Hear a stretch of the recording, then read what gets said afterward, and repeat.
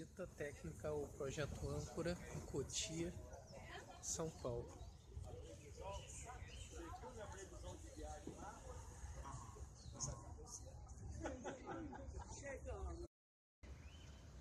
Hoje é dia 5 de agosto de 2016. O projeto Âncora começou com uma ONG que deu origem a esse colégio. Se caracteriza por não ter aulas, os alunos não têm aula. Trabalham sob projeto. Também não há avaliação tradicional. Toda aprendizagem é pautada na responsabilidade, na autonomia da aprendizagem, que não significa libertinagem. Há um conjunto de regras bem rígidos aqui que possibilitam essa autonomia.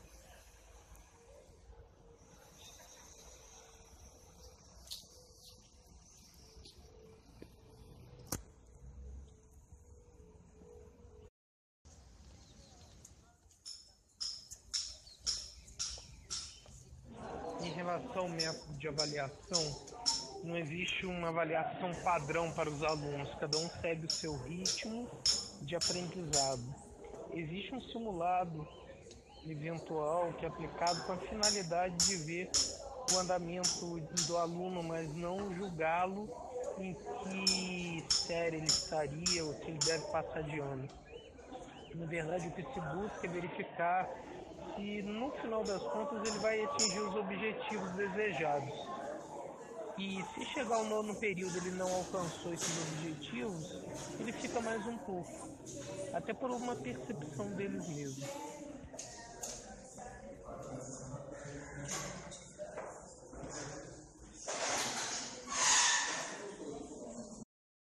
Todo projeto é regido, centrado no estudante e regido na ideia de responsabilidade, por meio de grupos.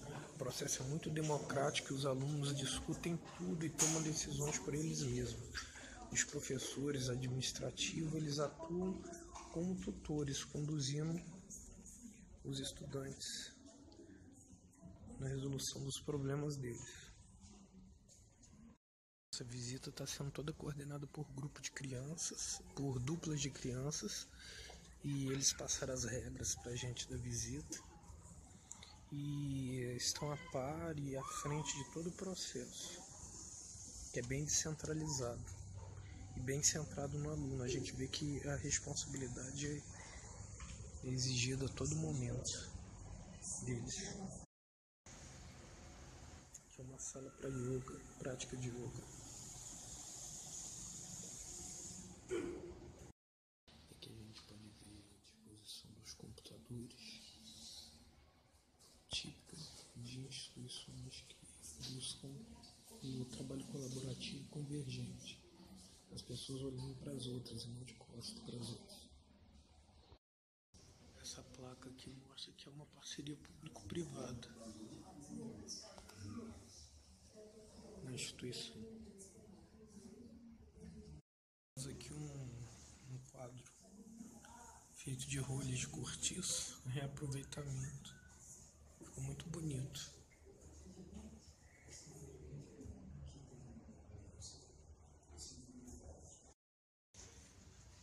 As questões que surgem são o seguinte: como tornar o processo de aprendizagem, ensino-aprendizagem inclusivo para o aluno, uma vez que na maioria das vezes ele é um mero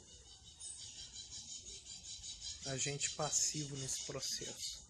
E a outra, como empoderar o estudante a partir de processos democráticos que o permitam decidir e conduzir sua vida acadêmica e pessoal dentro da instituição.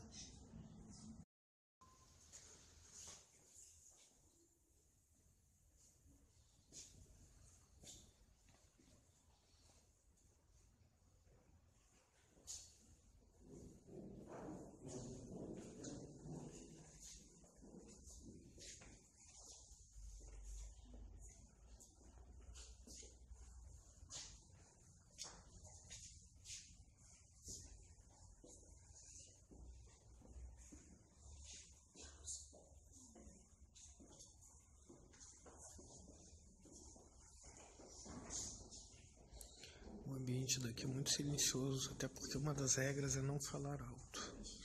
A outra é que o uso de aparelhos eletrônicos não é autorizado desde que seja prática de aula.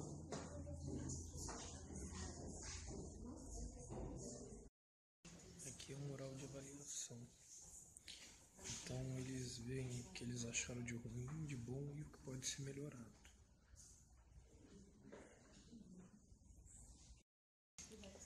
Essa daqui é a biblioteca. Uma coisa muito interessante a perceber é que existe a disponibilidade de vários livros em inglês. E isso nos leva a um, uma outra questão instigante que é como disseminar a língua no ambiente é, da instituição. Uma ideia que surgiu, por exemplo, é que os cursos de língua não fiquem restritos às disciplinas e promovam uma atividade Problem Solve Learning ou Project Based Learning, onde os alunos procurariam pensar como que a língua pode se tornar, a língua estrangeira pode se tornar comum no dia a dia do pedagógico. Por exemplo, as cantinas podem apresentar é, produtos em inglês, o aluno de repente poderia pedir a refeição dele em inglês, ou ir na biblioteca e fazer pedidos em inglês, enfim, como abrir espaços para que aqueles que queiram possam interagir na língua estrangeira e com isso fazer disseminação da língua no ambiente acadêmico. Esse é um desafio para a área de línguas. Bom, vou registrando então as coisas que eu vou observando. A responsabilidade da dupla de alunos é tão grande que um vai na frente e o outro vai atrás, fechando as portas e acompanhando os retardatários. O grupo de 37 pessoas foi dividido em três duplas e o grupo ficou 12 a 13 visitantes sendo acompanhados por cada uma dessas três duplas de alunos. Assim, é azul. Só que a gente usa pra fazer roteiros. O que, que é? Como assim roteiros? Roteiro é, por exemplo, que você coloca pra você estudar. Ah, tá. Teu, tua programação de estudo, né? Entendi. Aí tu usa mais o computador aqui ou em casa? É. E tu acha ele lento, ele funciona bem? É. Legal. Legal. A tela gira, né? Gira. E ele vira um tablet. É, no caso agora ela vai usar o tablet. Vai estudar. Que legal. Esse é o seu quarto. Hum, Porta tablet. Viu? Incentiva o estudo. Muito legal. Mas aí tu não usa só pra estudar em casa, né? Tu usa pra outras coisas também. Com Windows. Esse computador é, é dela. Mas todo, cada um de vocês tem, né? Cada um de vocês recebe. Uhum. Esse computador é de um projeto do governo federal de um computador super barato, tal. tinha um projeto assim. Todos os alunos aqui têm. Não, é assim no âncora, que a gente usa âncora. Só pro âncora. Mas como assim só pro Isso é âncora? nosso, só que fica no âncora. Aí você tem que avaliar. Mas aí se tu for pra casa tu não pode levar ele. Como foi o seu dia Ah, ontem? tá. É porque ontem, como eu tinha vindo na natação, eu saí mais cedo ainda, deu pra me avaliar. E eu tô avaliando hoje. Vou fazer outro plano. Esse, esse é o seu plano, o, o plano de ontem. de um ontem. O que, que você fez ontem? Você fez natação. Eu fiz Eu tô só aqui, não sei, aqui eu fiz a roda, um outro eu lancei, fiz a pesquisa de receitas com diversas pessoas, fiz o Khan Academy, fiz o almoço, é, eu pesquisei algumas coisas sobre receita, fiz o lanche e e eu li, eu li, aí depois eu saí que foi duas horas que eu fui embora. Ah, eles têm aula de 8, vocês ficam aqui de 8 às. Às 4h20. Mas ontem eu fiquei até as duas. parte do Khan Academy, todos os dias você faz uma pesquisa lá? Aonde? No, no Khan Academy? Não, é, é um negócio de matemática.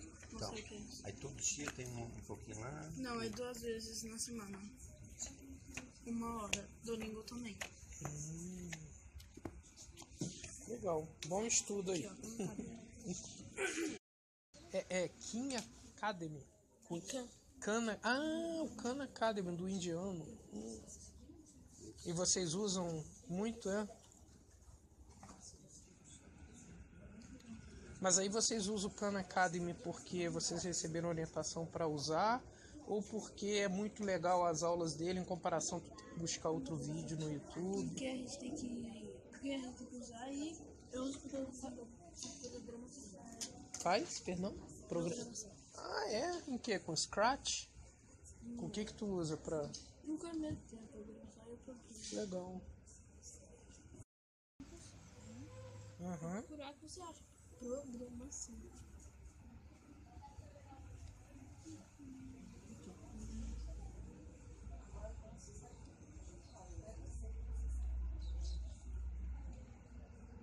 Veja sua página, tá? Aí, aí tu encontra tudo que tu precisa de programação. É, eu programo. Mas aí são os vídeos ou tu tem que ficar lendo? É, e depois eu programo.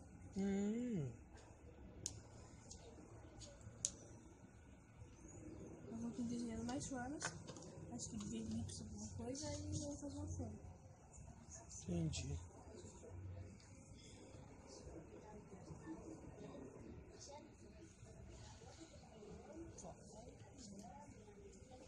Aí como é que é? É, a, a ideia é tu não ter um professor então que vai te ensinar programação. Tu vai olhar aí no Khan Tem um Academy e tirar as dúvidas com ele. Aquele cara que tem o cabelo grandão ali, ele, ele é, a gente vai criar um projeto de programação de internet. Ah, então tu tem um projeto para resolver, usar a programação para resolver algum problema. E o que que tu tá atualmente fazendo? Qual o problema tu tá? Eu ainda vou criar o projeto Uhum. Mas não é você sozinho, né? São mais pessoas. amigos. Legal. E todo semestre faz isso ou é só dessa vez? É, todo semestre. Não, eu faço. Aí eu marco as minhas reuniões. E é assim. Entendi. Reuniões, aí criando coisas. Legal. Eu vi uma vez, acho que no, como sei lá, Fiz um boneco. Hum, aquele programa da. da que tem a Globo, da manhã. Aham. Uma daqui, que, o- que o projeto dela era montar um laboratório de química. Então, escreveu o projeto todo, igual ele falou que é com, com os amigos, e foi atrás, e procurando o que faz. Aí tô fazendo a avaliação de ontem. é tipo um logo, né? E aqui eu vou fazer o meu. meu Interessante. É dentro do, do Avaliação de quê? Da atividade de ontem? É. Se foi tudo ok no meu planejamento.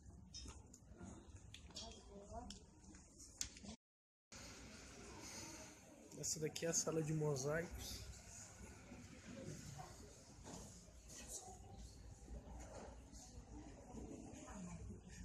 Ele sabia colocar na mão. Não viu.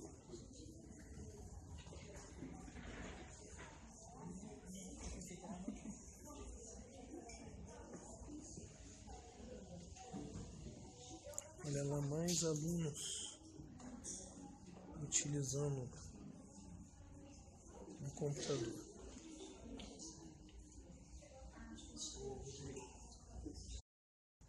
A questão de uma oficina de mosaico é muito interessante. Ela embeleza o ambiente, dá para se trabalhar a questão das artes, arquitetura, habilidades manuais. Ou seja, muitos projetos integradores podem ser idealizados a partir da ideia de uma oficina de mosaicos.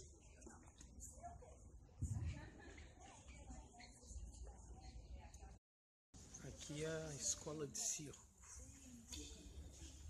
Picadeiro.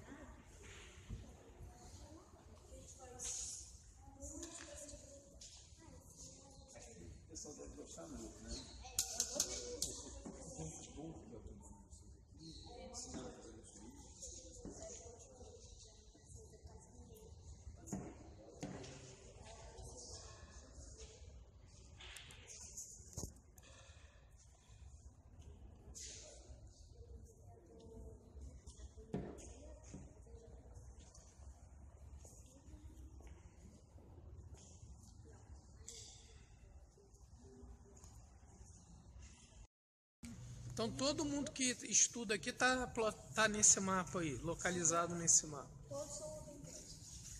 Alguns foram arrancados, né?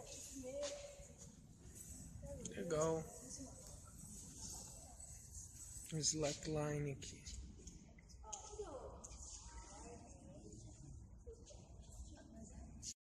É como? Na hora do intervalo tu pode ir lá pegar um skate, um capacete, Não. usar. Ontem, Ah, de quinta-feira.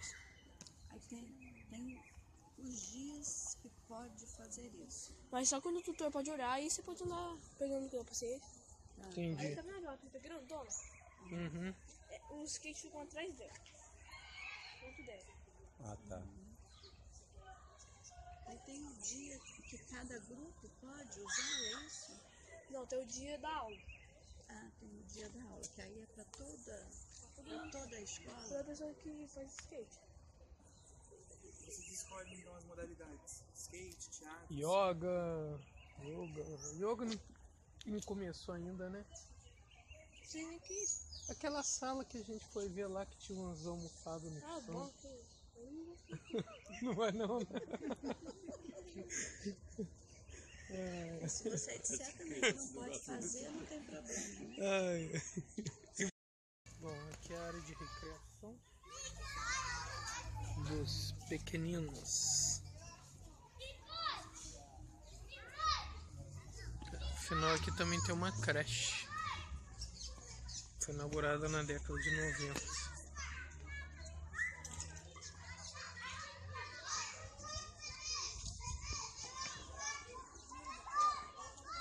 O lugar é muito agradável, bem arborizado.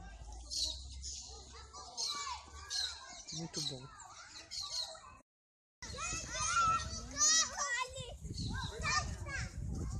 Interessante é que não há um. Não parece haver um isolamento das crianças. Os espaços são abertos. As crianças maiores podem ter contato com os menores. Brincadeiras simples, feitas de material de uso comum, que exploram a criatividade da criança.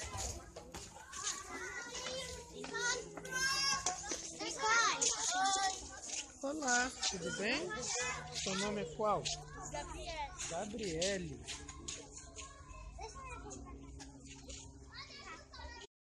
Olha que barata, aquela ali tá brincando de tartaruga.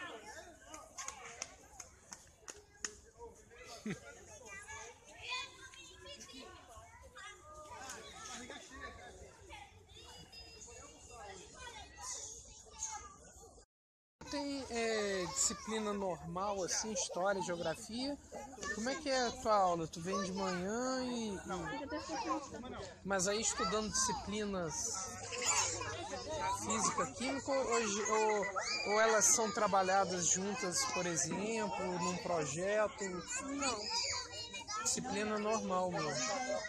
Entendi.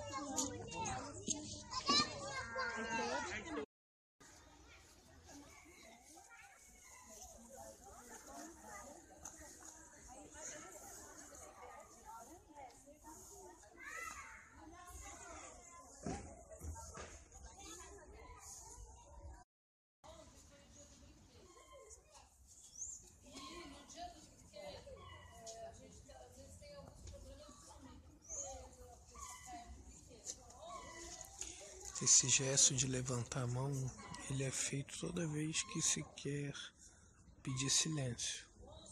O silêncio ele é muito gerenciado nas classes aqui. E as crianças são acostumadas a isso desde pequenas.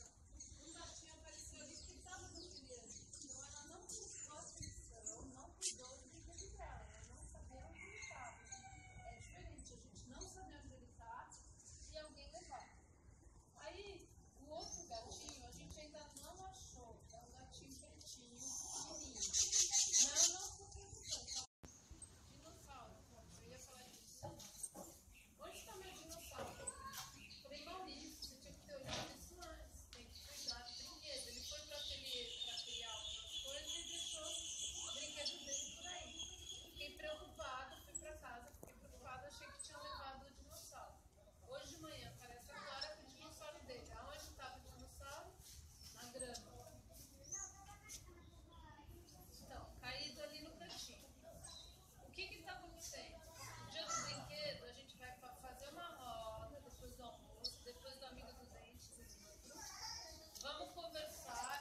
problemas são debatidos em grupo, são resolvidos comunitariamente. Mesmo que alguma situação individual, mas pode ser aplicável ao grupo, aos membros do grupo. Elas são discutidas em grupo. A tutora então expõe a problemática, como foi visto, e aí ela convida as crianças a pensarem para trazer alguma solução do problema exposto.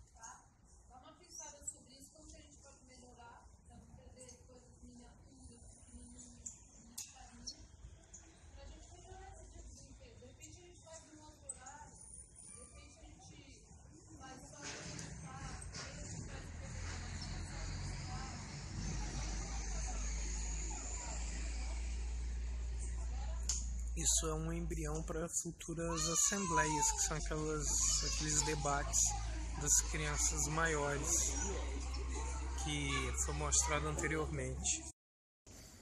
Fica muito nítido como é que os alunos eles são chamados à responsabilidade o tempo inteiro e são habituados a isso desde o início de sua vida eh, escolar. E essa responsabilidade, que no começo ela se reflete numa chamada para reflexão em busca por soluções aos problemas comunitários, ela vai se aprimorando, é, sempre centrado no estudante, buscando fazer com que eles assumam responsabilidades e busquem responsabilidade também. Então, é um estilo de liderança bem construtivo e participativo, ao contrário de estilos de liderança autoritário coercitivo e autoritário benevolente que são adotados muitas vezes comumente nas, nas escolas.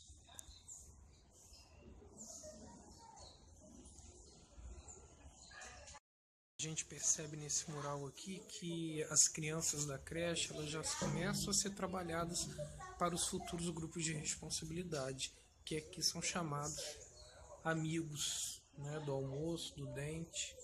Então, essa mentalidade já começa a ser trabalhada desde a infância.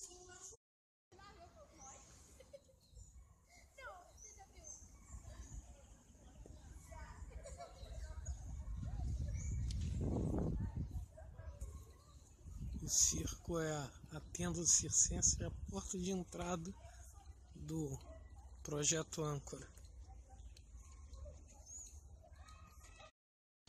Um outro aspecto interessante, muito bem-vindo, é que o fumo é proibido em qualquer área, quer seja coberta ou descoberta, do projeto Âncora.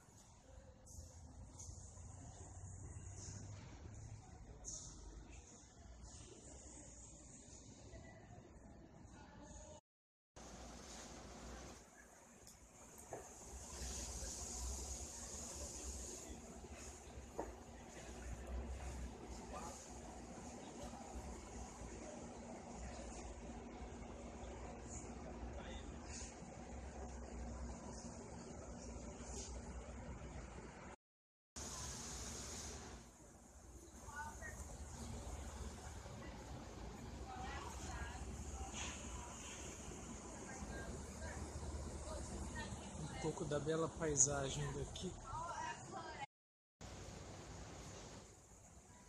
Um outro aspecto interessante é o uso do espaço. É bem diferenciado porque as crianças ficam espalhadas por todo o campus, como acontece, por exemplo, numa universidade. Nesse aspecto, há uma similaridade bem, bem grande. É assim, isso é o teu estudo individual mas tu tá dentro de uma sala de aula com outros colegas. E se os outros colegas. Tu não tem aula com outros colegas?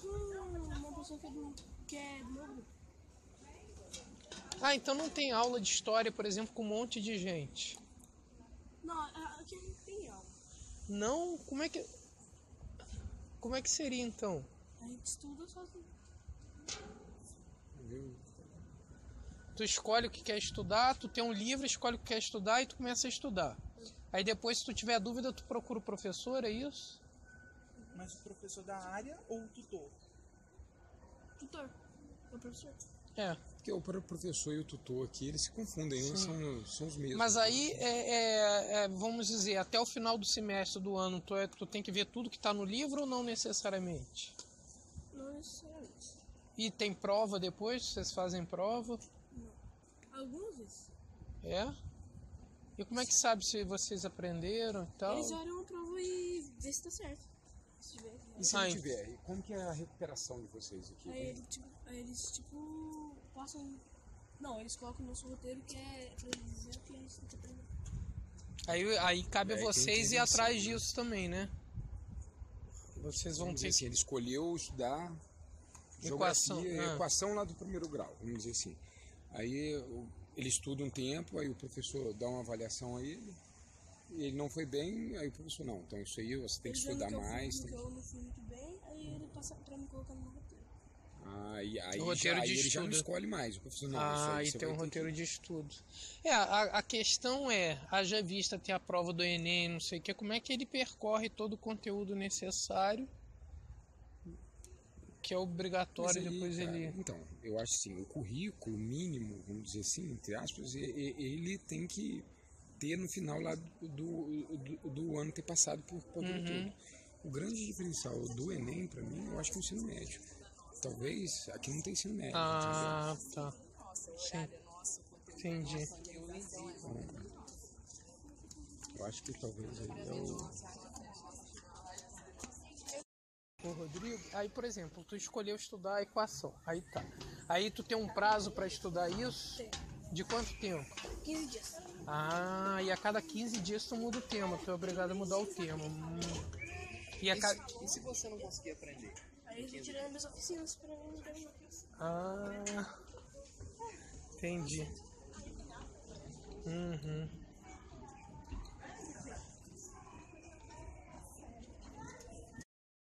E quantas oficinas tu pode fazer?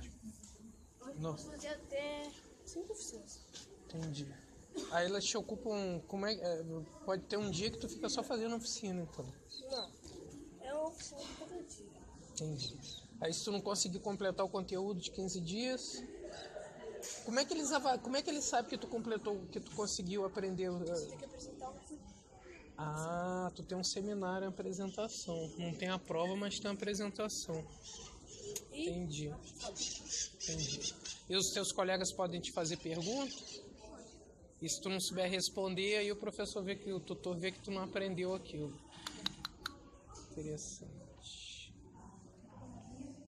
A verdade mesmo impõe que ele tem que aprender isso aí. Nem é um exemplo disso. Né? É, na verdade, a o grande questionamento é até que ponto o currículo mínimo é efetivamente necessário para que o cara seja o que ele precisa ser.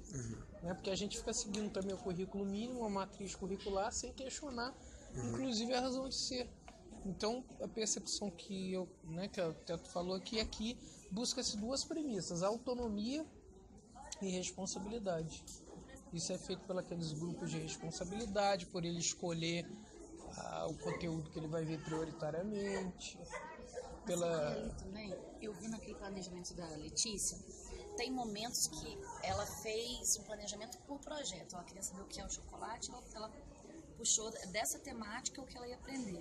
ela escolheu, Ela escolheu. ela. Agora, O, o tema era o chocolate. é, aí o outro agora era o golfinho, o anterior, golfinho. Então ela fez a mesma coisa. O que é o golfinho, onde ele vive, o que ele come, nananana. Esses são os projetos, né? Isso. Agora ela tá em um que não é projeto. Ela tem lá O roteiro. um roteiro de estudo, tipo assim, português. Mas esse isso. roteiro de estudo, pelo que a gente ouviu o Rodrigo falando, ele surge, pelo que eu entendi, em parte quando o aluno também não consegue cumprir aquilo que ele prioritariamente se propôs a aprender. um Aí, aí ele de tem. conteúdo. Entendeu? Esse projeto dela agora, esse, o, o roteiro É o dela start, agora né? é conteúdo. Não é projeto. Então acho que vai equilibrando de acordo com. Não, projetos, conteúdos, mesmo tendo conteúdo, a, a forma de, de apropriação dele é diferente. Mas E eu é, vou te e falar um é negócio. Não tem sala de aula. individualizado. É muito diferente você é, pegar um aluno que fez o ensino fundamental, que fez um, um- até a. É, sei lá. até Quinta, porque a quinta a série. quinta série em uma escola E e, aqui. passa para uma escola uma metodologia É, ele tem que diferente. começar assim, Ele né? Que você pode começar ver igual tá lá, naquele tanquinho de areia lá. o Rodrigo também. Entendeu? Eles Se você começar a pegar, se você for pegar um aluno de que já teve é, um, um- uma certa um direcionamento de Pra como ele deve de autonomia, né? aprender. E aí você passa, depois que de uma certa idade, para uma, uma outra forma de, de aprender, É, É muito é disruptivo demais. entendeu? É, é